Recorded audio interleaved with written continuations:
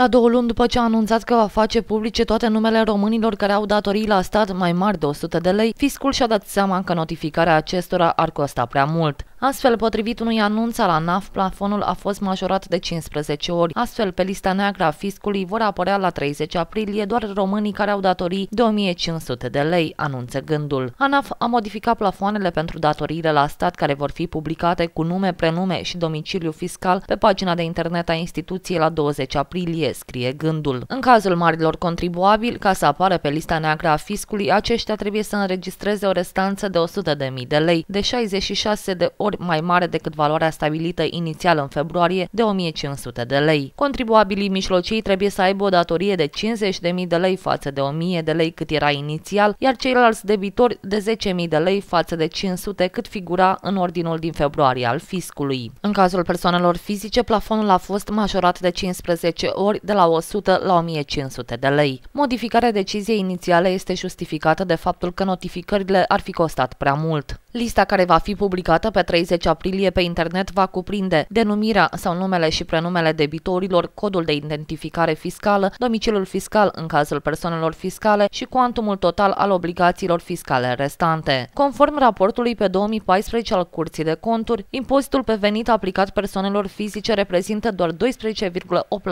din totalul încasărilor ANAF, care sunt în creștere în anul respectiv. Inspectorii au mai constatat o creștere a disciplinei contribuabililor în 2014, astfel că 94% dintre aceștia și-au depus în mod voluntar declarațiile fiscale. Din totalul arieratelor înregistrate de ANAF, cele care aparțin persoanelor fizice sunt infime. Ele reprezintă doar 3,5% din total, însumând la finalul anului 2014 2,88 miliarde de lei, din totalul de peste 78,8 miliarde de lei. Restul aparține firmelor și chiar și la acestea aproximativ 76% dintre datorii erau nerecuperabile, dată fiind situația lor juridică.